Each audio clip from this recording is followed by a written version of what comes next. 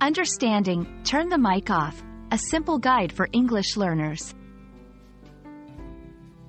Hello, everyone. Today, we're going to explore a common English phrase, turn the mic off. Whether you're in a meeting, giving a presentation, or just chatting online, understanding this phrase can be really useful. Let's dive into what it means and how to use it effectively. Turn the mic off is a straightforward phrase.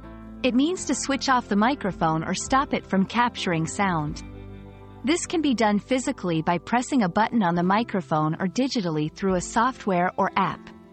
The phrase is commonly used in various situations, especially in today's digital world where online communication is prevalent. There are several reasons to turn off your mic. 1. To avoid background noise. If you're not speaking, turning off your mic helps prevent any background noise from disrupting the meeting or call. 2. During breaks in a presentation, if you're presenting and need to take a brief pause, turning off your mic can give you a moment of privacy. 3. To show respect. In a group setting, turning off your mic when you're not speaking is a sign of respect and good etiquette. If you're in a situation where someone else's microphone is causing a disturbance, you might need to ask them to turn it off. Here's how to do it politely. Excuse me, could you please turn off your mic when not speaking? There's some background noise.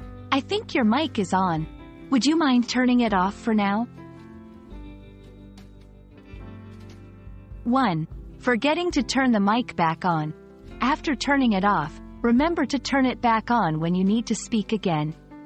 2. Accidentally pressing the wrong button.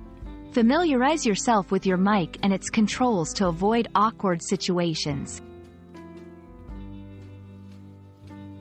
Turn the mic off is a simple yet essential phrase in our everyday digital communication. Remembering to use it can make online interactions smoother and more pleasant for everyone involved. I hope this video helps you understand and use this phrase confidently. Until next time, happy learning!